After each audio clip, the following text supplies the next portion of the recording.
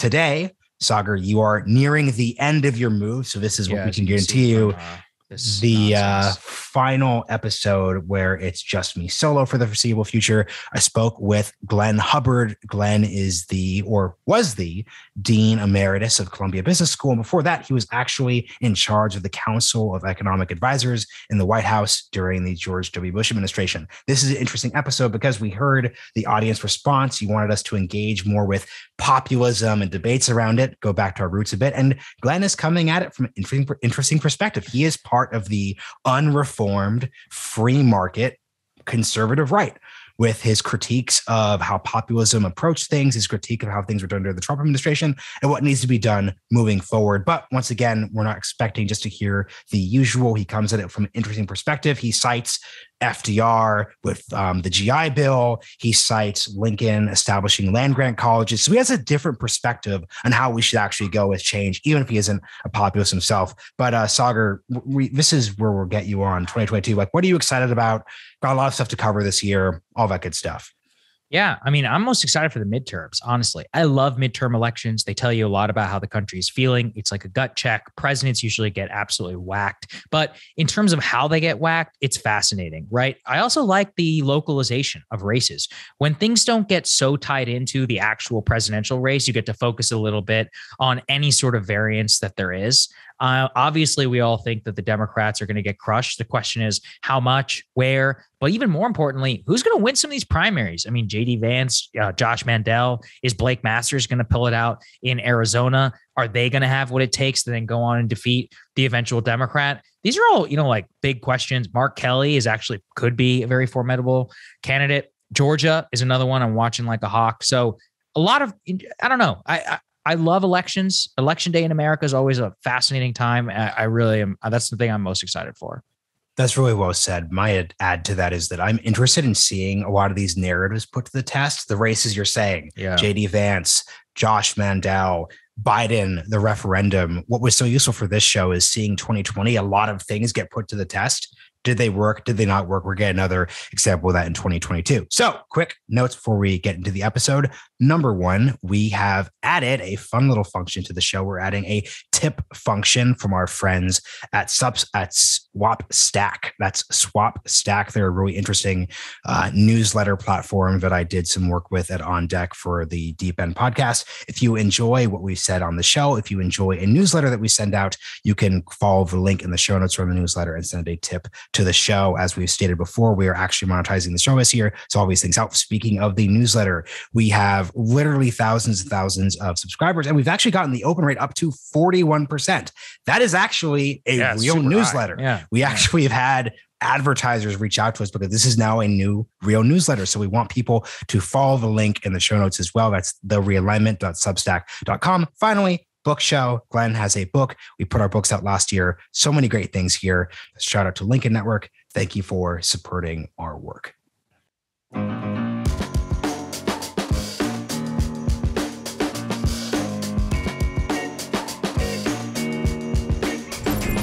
Hubbard, welcome to the realignment. Thank you. Thanks for having me.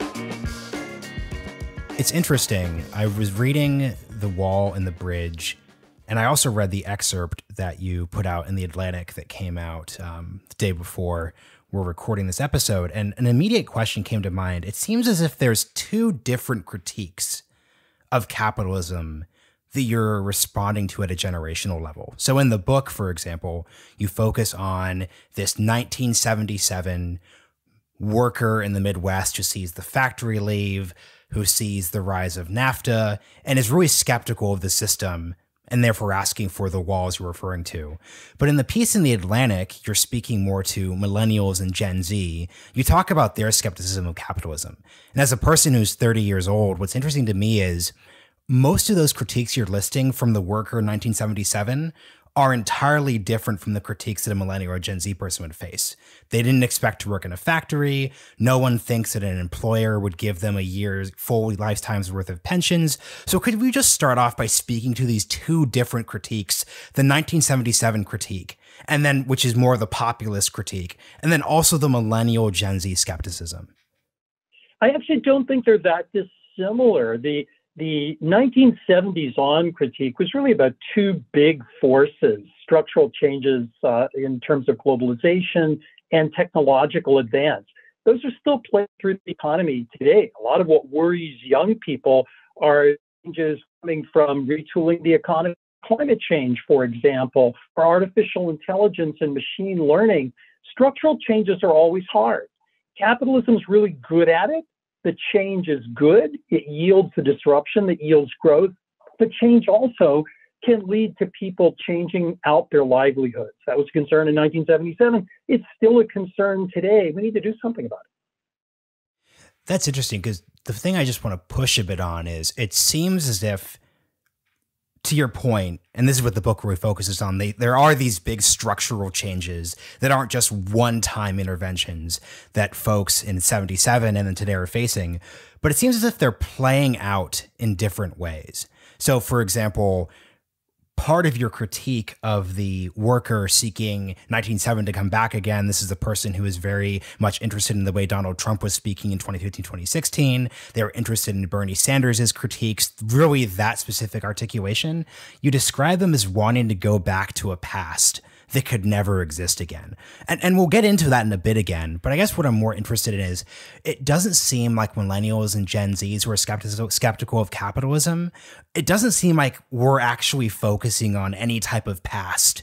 There's no basically nostalgic 1950s where everything were really perfect. So I'm, I'm curious if, if your critique of the 77 is that it's really, or if your critique of populists who've tried to respond to the constituency that were disrupted by 1977, I'm curious, what is your critique of millennials and Gen Zs, not personally, obviously, whose lives were upended by the financial crisis and then the coronavirus? Because it doesn't seem like they're trying to go back to something that didn't exist. I think they are trying to build walls, and that's the concern. It, there's always an issue when you have structural change or big shocks like the financial crisis, or for that matter, like the COVID 19 pandemic. People want protection. The goal isn't so much protection, but to go back to what classical economists like Adam Smith wanted to make sure that everybody has the ability to compete in the economy as it is. And that may mean different different kinds of training, different kinds of opportunities. That's really the issue. And when millennials or any of us reach for wanting to be coddled a bit more, we're reaching for protection and not for opportunity. You referred, we've made numerous references to walls and bridges. So, can you just explain the metaphor which really undergirds the book?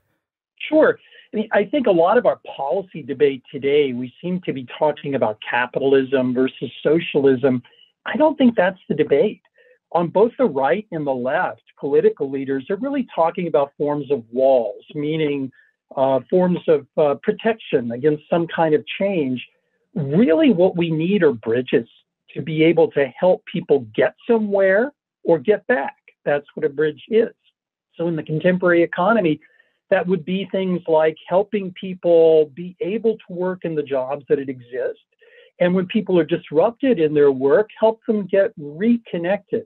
Bridges are harder than walls, which is why politicians like to talk about them. But there's much that economics has to say about bridges. It's just that economists don't talk about them enough. So this is interesting because in the history since 1977, when you first obviously entered the economic field, which is why we're focusing on that date, you tell this story of on the one hand, you have the rise of economic neoliberalism. Both sides of the aisle are relatively more market friendly than they were in the 70s and 60s. And then you also have these convulsions. You have NAFTA, China entering the WTO, et cetera, et cetera, et cetera. When you talk about bridges, though, at least on a political side, I think part of the reason why people may be skeptical is politicians have often spoken of these bridges. Think of President Clinton in the 1990s, his whole campaign slogan was building a bridge to the 21st century. There was all this talk of re education, TAA, trade adjustment assistance. Yep. So, wh- why did this political project of bridge building not work until now? It's a great question. And I think the problem is politicians were never serious about it. I've worked on areas around trade adjustment assistance for decades. The only time it ever really comes up is when politicians want to talk about a trade adjustment assistance. uh, and getting a trade agreement through. There's really not much to it. It's not really helping people. If we really wanted to help people, we could reach back to when America did this on a grand scale. Think the big uh, land grant colleges that started in the 1860s. Think about the GI Bill. That's the scale of the intervention we need. What we've had from politicians, right and left, both sides of the aisle, is a bit more blather, to be honest, than real action. So, could you? So, we're throwing around acronyms here. Can you actually explain over the past 40 years what that trade adjustment what, what those policies have actually looked like what so what what has been offered to let's say a worker from youngstown ohio let's say it's 1995 what was offered very very little the policies have helped very few people and didn't offer very much and in the first case if if i'm um, affected by structural change should it matter whether it was because of trade or technology. Many of the big heartland changes in the country that get blamed on trade are really much more about technology anyway. What we need to be making sure is that people are ready to compete. And that means access to training and an education system that helps them do that. That's going to be more costly than trade adjustment assistance. But the alternative is a system that is manifestly unfair to the many people. And what's interesting here is when you talk about these interventions, talk about why you supported like you weren't alive during Abraham Lincoln's efforts, obviously. Um, but when when you're referencing the GI Bill, um, you know, in the 1940s, when you're referencing the land grant colleges, why did those interventions pass your test? When, if you look at the rhetoric, at least, of the Biden administration, they would argue that Build Back Better and other government interventions are in the same spirit as well too. So where do you diverge between well, those two things? They're, just not. Let me let me take your question in reverse. So Build Back Better, to the extent that it touched on any of these issues, was about free community college. In the book, I talk about the need to take more of the Morrill Act land grant college orientation, put money into community colleges, give them the resources we need. The issue is not really free tuition. So I don't even think Biden's folks started in the right place. To the big interventions of the past, the land grant colleges were very successful. And keep in mind, the Morrill Act was passed in the middle of the Civil War. So whenever we talk about, oh, it's just too hard to do big things in politics, the middle of the Civil War. And what the Morrill Act did was create land grant colleges that would help an economy in transition, one that's going from agriculture to more manufacturing. It was deliberately not a one size fits all solution. Likewise, the GI Bill says we have all these uh, service people coming back uh, from Europe, from Japan. They need training for the economy that now is the growth in manufacturing and, and starting growth in services in the US the GI Bill focused on that. These are really big transitions. They're not just about free tuition or build back better. So what's interesting there though is and this is where it gets really interesting, especially when we were focused. So the land grant that's establishing colleges. So for example, um, and correct me if this is incorrect, but this is like your agricultural, your state college. So like I'm from Oregon, Oregon State University. That's a land grant university. Right. Texas Tech, et cetera, et cetera. Texas A&M.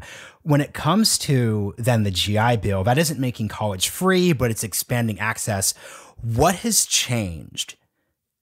In the time since basically the New Deal World War II era, where this isn't simply about lowering lowering um, tuition and expanding access. What what's the difference here? Well, the question is access to what? So if you go back to the structural changes from technological advance, from globalization, the educational institutions that are really the foot soldiers of preparing people are more community colleges. Community colleges do very well in local areas. They often work with local employers. They talk about skills that are readily available and marketable in the local economy. They are, however, underfunded, and we need a massive support for community colleges if we're to get there.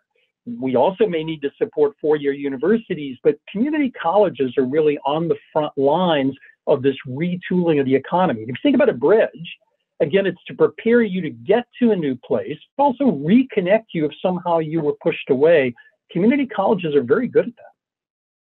What's interesting here is what it it's the thing that it seems to be suggested here is that the issue isn't necessarily that community college costs money. It's that community college as an institution, whether it's free or not, is currently ineffective. Is that is that a good articulation well, of it? it? It's so underfunded. It's very difficult to connect as many people to skills, and those aren't just young people going to school for the first time. It could be older people coming back for new training and skill development. Community colleges just lack the funding to do that. We're talking about technological change is one of the factors that's undergirded a lot of the economic disruption. To what degree do you think technological change in the internet should upend or even our conception of what higher education community colleges look like? Well, I think it already has. I mean, we already have a big growth in community colleges and frankly many four-year universities as well in online education. Uh, probably bigger opportunities exist in hybrid learning where some things can be done online, some things face to face, and could lower the cost of education. Community colleges tend to be particularly useful, though, for two reasons. They're connected to very specific skills in the workplace, and they often have very good relationships with local employers. So technology may help that, but it doesn't fundamentally change the equation.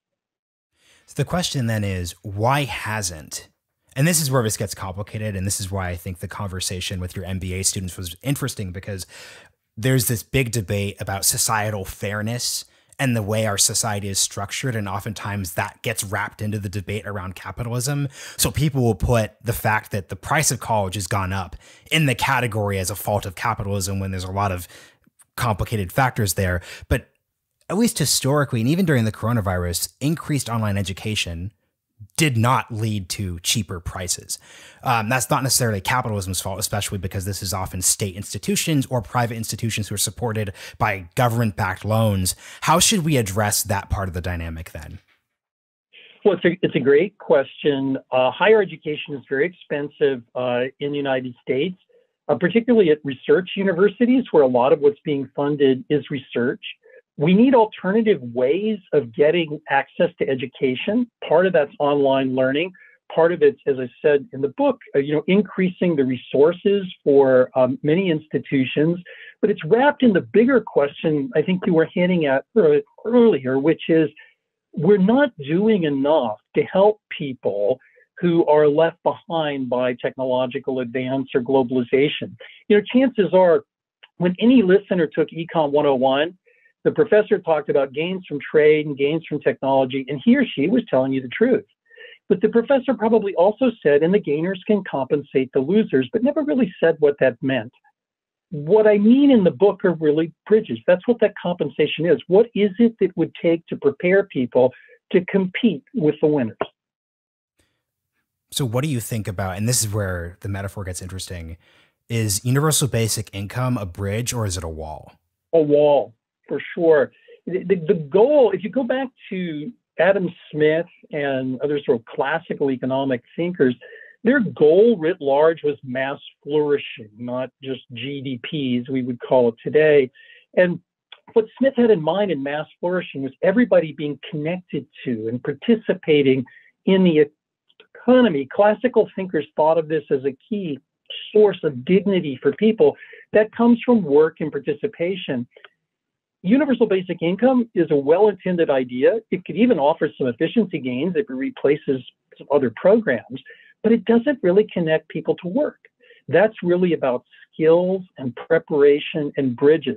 So I worry it creates a sort of two-class system that some people are able to participate in the economy, others are just pushed aside and given a check. We should want better than that. And this is where this gets interesting. Why I, I agree with what you're saying directionally, but it's not as if we're saying UBI has to offer $50,000 a year.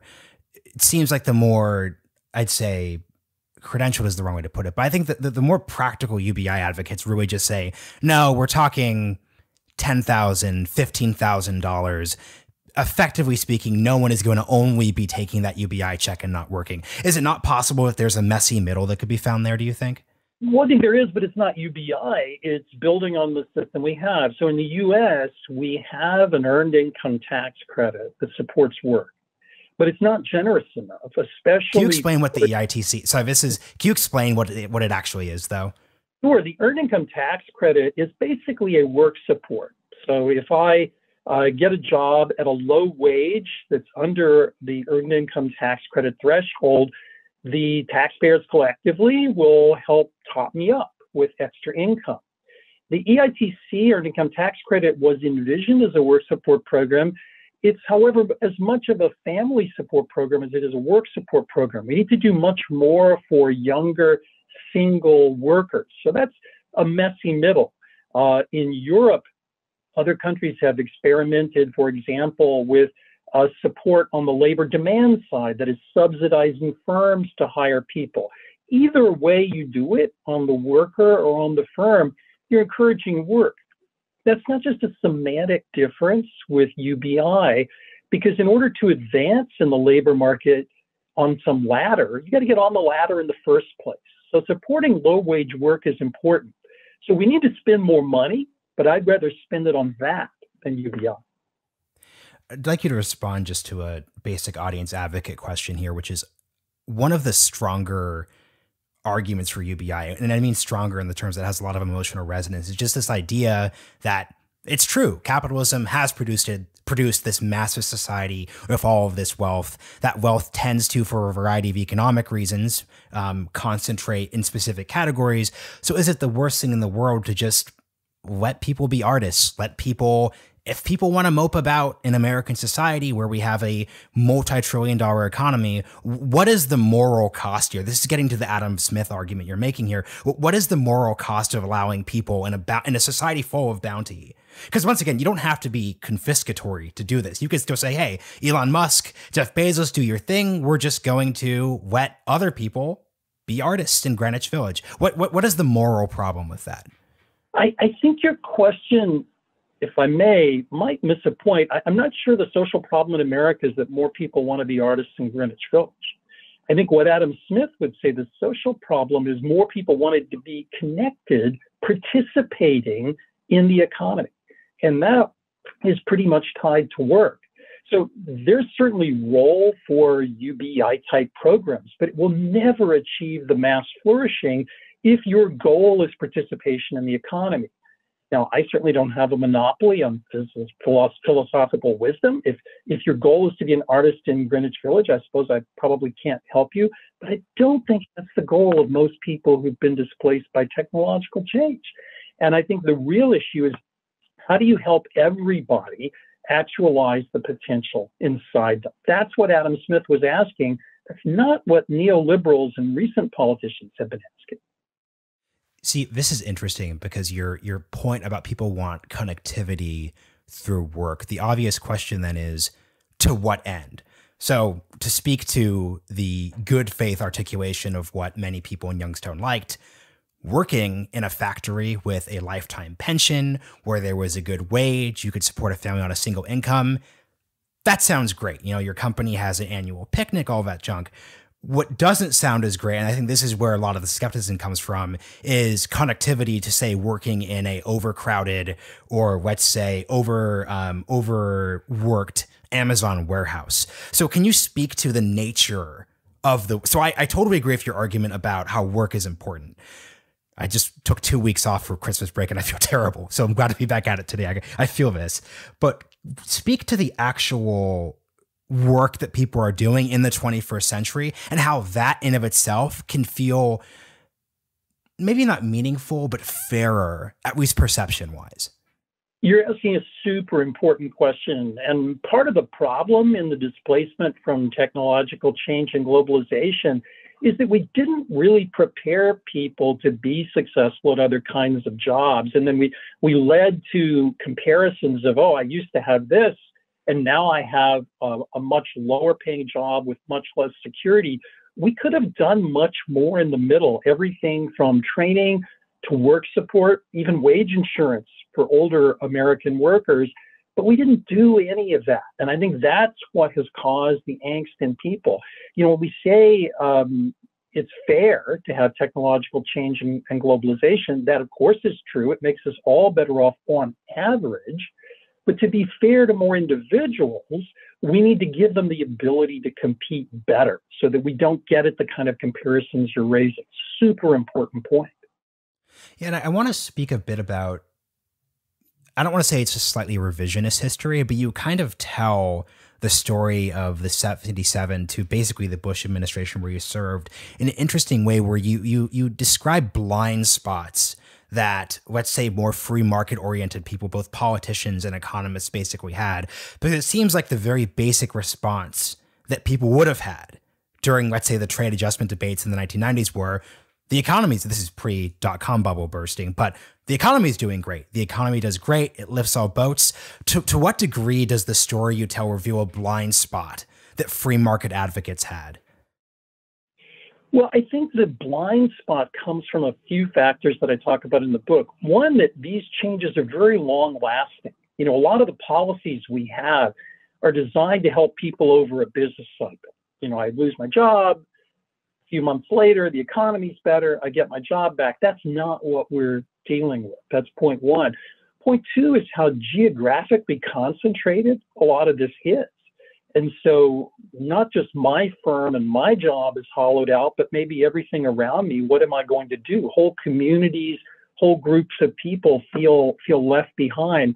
The blind spot was not about what was happening on average. I think economists pretty much got that right. These were good factors. They did help people on average. Uh, Democrats like Bill Clinton or Republicans like George Bush were both on the same side of that coin.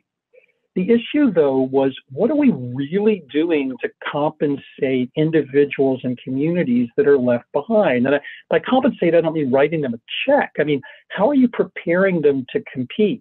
You know, as we were talking earlier about trade adjustment assistance, politicians mouthed the words, but really didn't say much. And I think economists, too, were looking at average data, uh, the success of business and productivity without thinking about these groups of workers. And in our economy, that's manifestly unfair to those workers.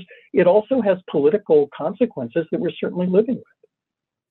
Something I'm interested in, and you hinted this a bit in the book, is what is the difference between government's role in the face of long term structural changes versus one off crises? So, for example, the 2008 financial crisis, the coronavirus pandemic, especially towards the start, where you see a lot of discourse around bailouts. We bailed out financial institutions, we didn't bail out mortgage owners who, through some combination of fault of their own and lax government policies, were left in a really terrible situation.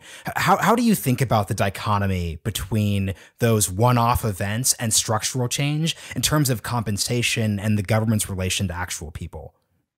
Well, I think in terms of the financial crisis and the coronavirus pandemic, while they were, quote, one off, I certainly hope the coronavirus is one off from the financial crisis they still had long lasting political effects because different groups of firms, different groups of individuals were treated differently. The structural change point I have in mind are slower moving forces that take a long time, like technological change, like globalization. In the economy today, I would think of um, artificial intelligence and machine learning, the adaptation to climate change. These are going to have big, big, big changes in the economy many of which are positive, but some of which are going to be negative for some communities and groups of people. I don't hear enough of that being in the thought process. When Abraham Lincoln was pushing the land grant colleges in the Morrill Act, he wasn't responding to high frequency things about the Civil War. He was talking about the future and about where opportunity might come from and how you would prepare young men and women for that opportunity. No, this is interesting because you're you're speaking to when you're describing the lack of follow through beyond just the articulation of convenient phrases, it seems that you're getting to a lack of vision. You could say that Abraham Lincoln and his version of the Republican Party in the 1860s had a vision, you know, putting aside Native Americans and obviously the complicated moral side of this, you have the frontier, you have manifest uh, destiny, you have expansion. That was that was a vision. What what it seems to me that if you're advocating for politicians to adopt the track that you're taking, there needs to be a vision that people can buy into. What what would what is your closest articulation for a vision for how the policies and the framework you're providing in the 2020s and 2030s can actually what, what, what would just be the starting point for that vision do you think? It would be what adam smith and other classical economists would have thought of as mass flourishing and, and mass prosperity. You know economists point to the fact that smith wrote the wealth of nations which is of course a classic economic treatise it's probably the foundation for all of economics and perhaps even capitalism. But Smith also wrote the theory of moral sentiments. And in fact, he wrote it before he wrote The Wealth of Nation, Nations. In that book, he used the phrase mutual sympathy, which today we would call empathy. I think what Smith had in mind was everybody being in the boat, everybody participating, everybody having that opportunity to connect. That's a vision and a goal. Notice how different that is from just saying, let's grow or let's uh, look at everybody on average. It's not that those are bad things, they would be incomplete in the Smith, both of the theory of moral sentiments and the wealth of nations. Something I'm wondering about then too, related to this, is just the the obvious elephant in the room when it comes to this conversation, which is which is China. Um, on a couple different levels. There's obviously the conversation around the Trump administration um, and their tariff policies and various debates there, but there's also just the question of letting um, China into the WTO. You catalog this in the book, the broader debate about the China shock and the very specific harms there. This is what I think folks need help understanding. To what degree are the disruptions you're describing inevitable? And what I mean by that is, one could look at the WTO in 2000 and admitting China to it and say to yourself, well, hey, globalization, like we said, is inevitable. Um, information moves faster, people travel more. This is an inevitable reality. Does that inevitable reality mean that China should be let into the WTO? And and I don't want to just like get into the debate or whether they should or should not have. That's been we've had that too many times, honestly. What I more mean, though, is what is the difference between inevitability and distinct policy choices that could go either way? Great question. Let me step back just a little bit because I think people forget sometimes that the gains from disruption have a flip side of the wake or the cost of disruption. So every time you have a change in trade or an innovation, you create new possibilities, but at the same time, some people get disrupted. What I'm asking for in the book is for politicians to have that other side of the coin in mind, as well as the gains when they're thinking it through.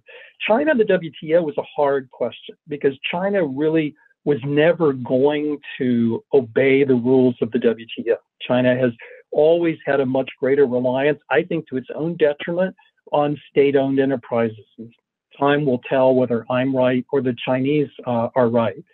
I think the question, though, for American policymakers or European policymakers is if there's a shock from globalization or technological change, are you thinking ahead about how to prepare people and communities for dealing with that? Imagine the same time we were doing that in the early 2000s, we had had a massive program for training Imagine that we had block grants for communities to help with dislocation.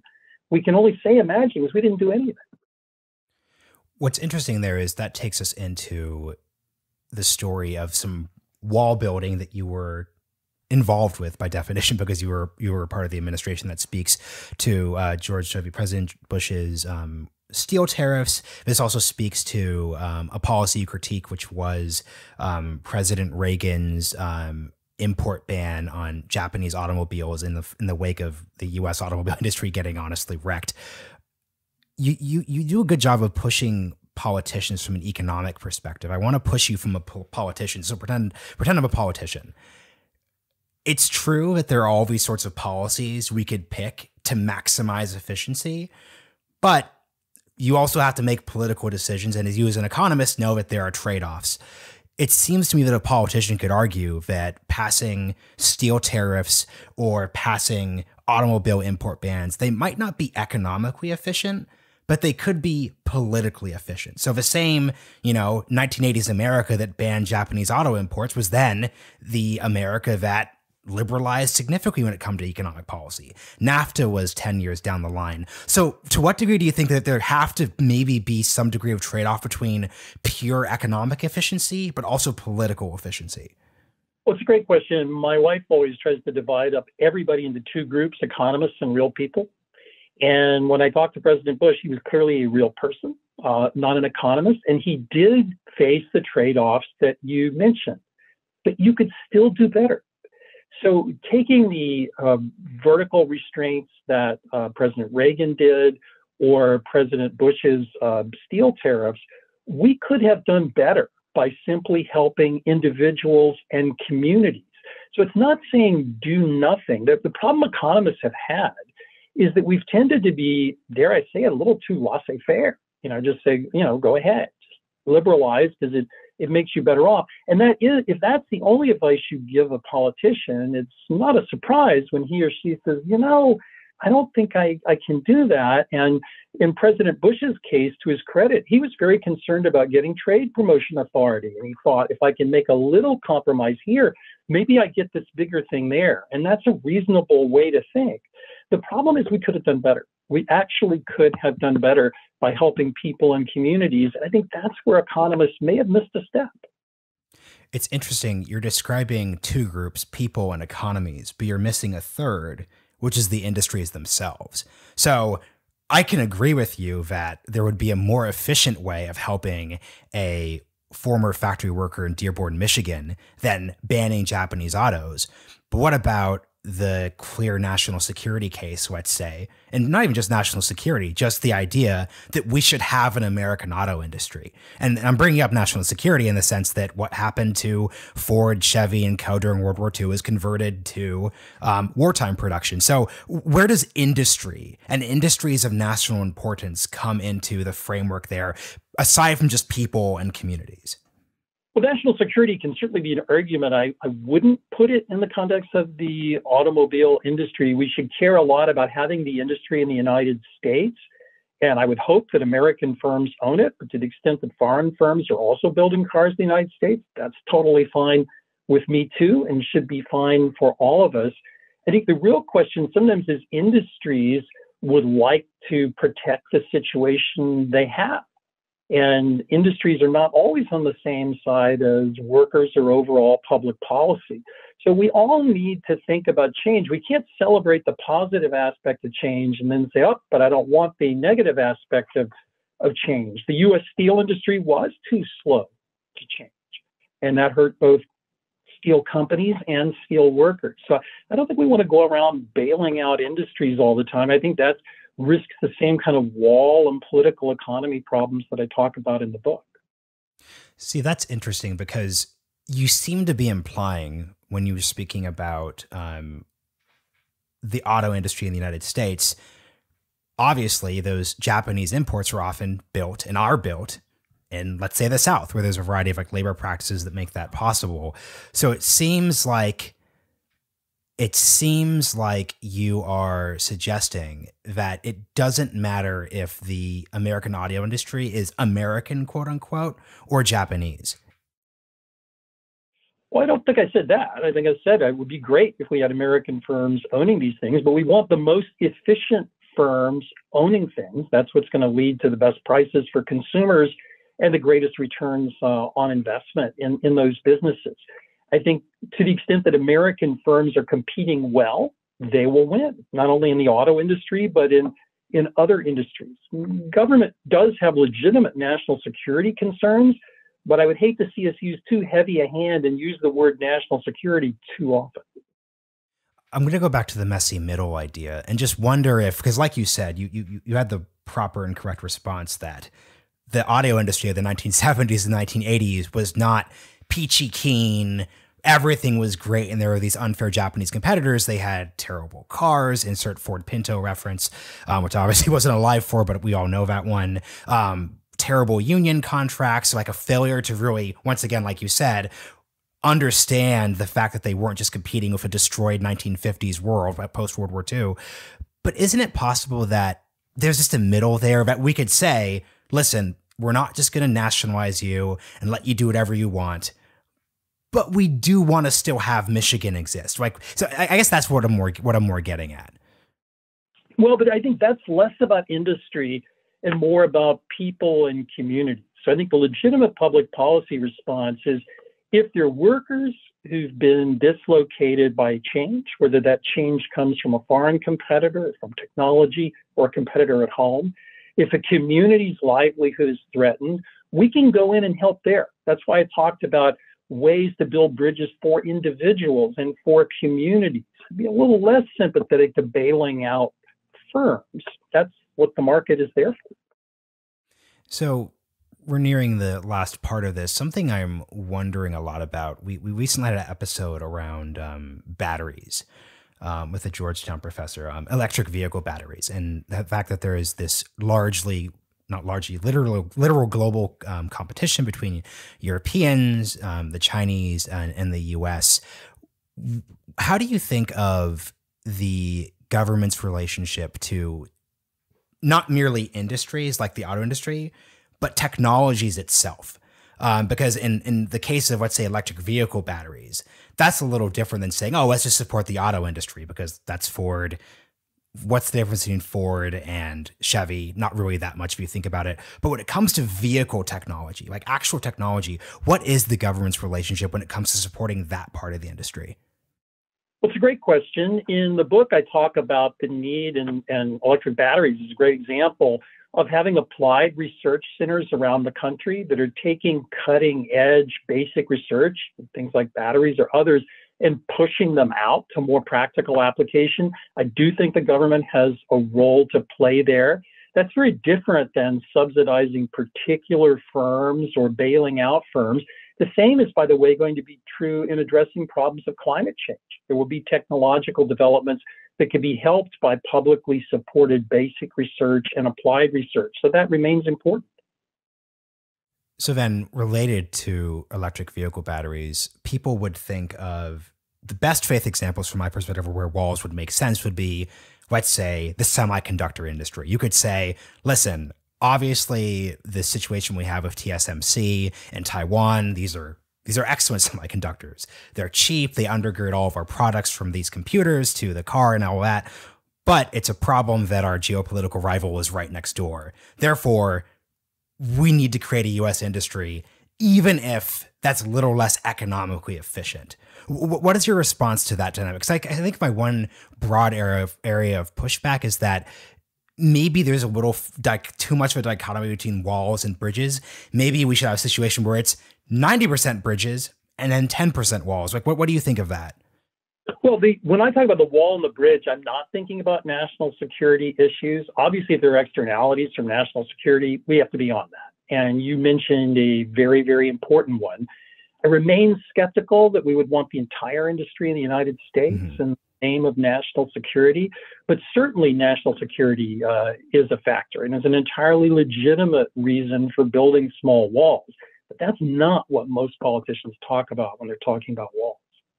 What are they talking about? Protection, bringing back the past, uh, you know, helping restore the way things used to be. That's just not possible.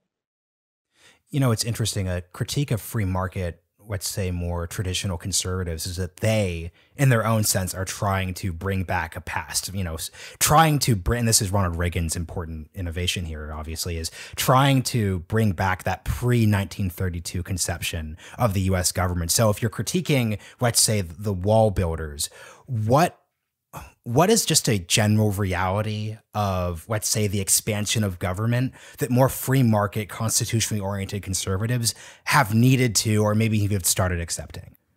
Great question. You know, we all need to ask ourselves there are a lot of risks out there in the world. What risk should I be bearing as an individual? What risk does my employer bear? And what risk does the state bear? So, when we're talking about these big structural changes, it's unfair to ask you or me or anybody to bear all of the risk of technological change or globalization. It strikes me that's a very legitimate role for the state to help the market. Now, the question is how?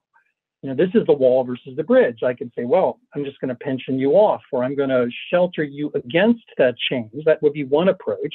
Another approach would be to spend the money to help people compete in that new world. I don't think it violates being a conservative to actually embrace that role of the state.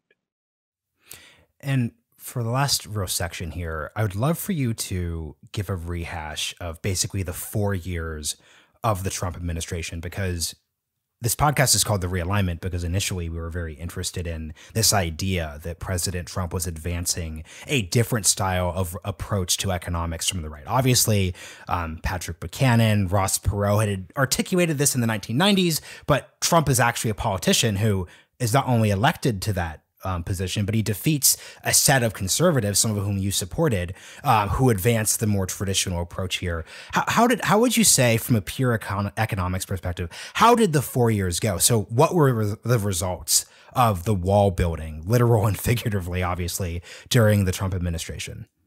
Well, it's great. I, I think you have to give President Trump some credit for noticing some problems that more mainstream politicians, be they center right or center left, simply hadn't.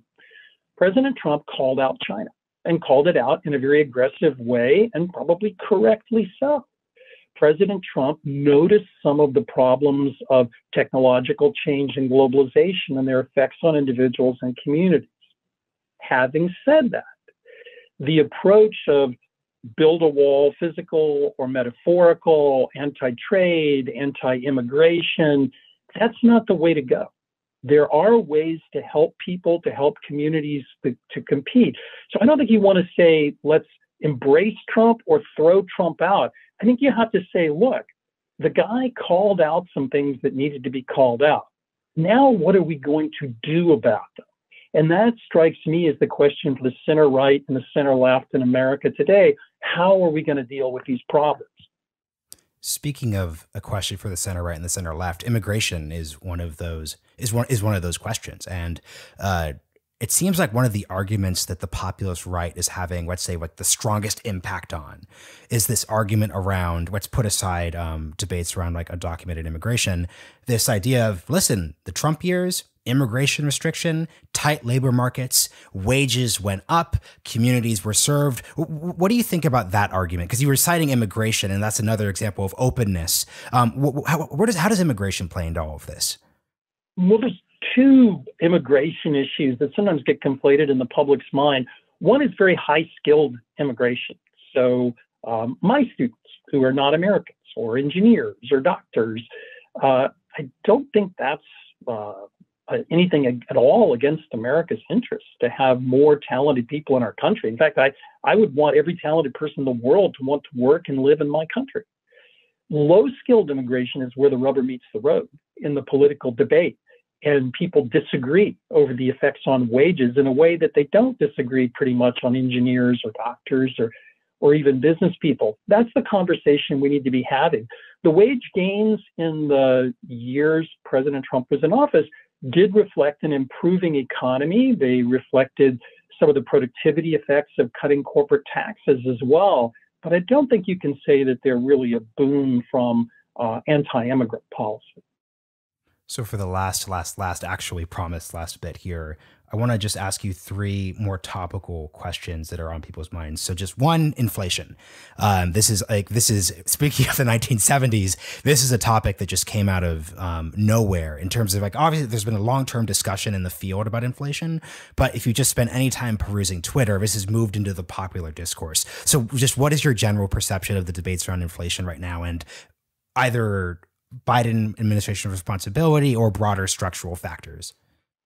Well, the big issue that led to the inflation burst that many economists, myself included, have been worried about for about a year now is the fact that demand was so heavily supported in an economy where supply constraints were the problem. So this isn't the global financial crisis where we had a sudden collapse in demand.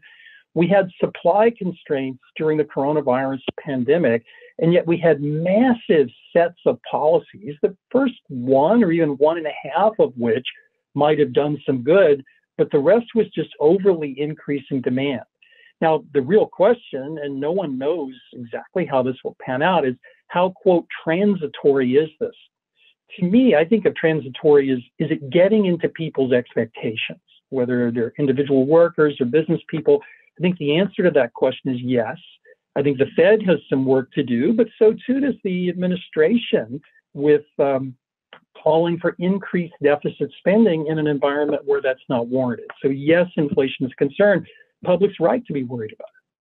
And then you reference supply, just where, and I realize Christmas ended up getting saved to a certain degree, but where, where do we basically stand with the broader, I say the more structural part of the supply chain um, crisis conversation? Well, it depends obviously on the type of goods. Some supply chains are working uh, fairly well, but in food products, some areas of manufacturing are still disrupted and getting people to work given legitimate coronavirus concerns. So I, I do think we have a supply constrained economy, and that will work itself through. The point I was making about inflation is don't pour gasoline on a fire by trying to add to demand when demand's not the problem.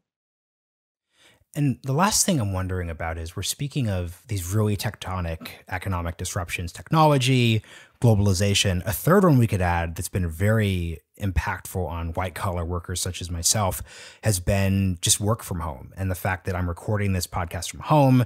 I live in New York City now, but I'm long term planning on just leaving the East Coast because I could pursue this career in podcasting without having to be in that real media center.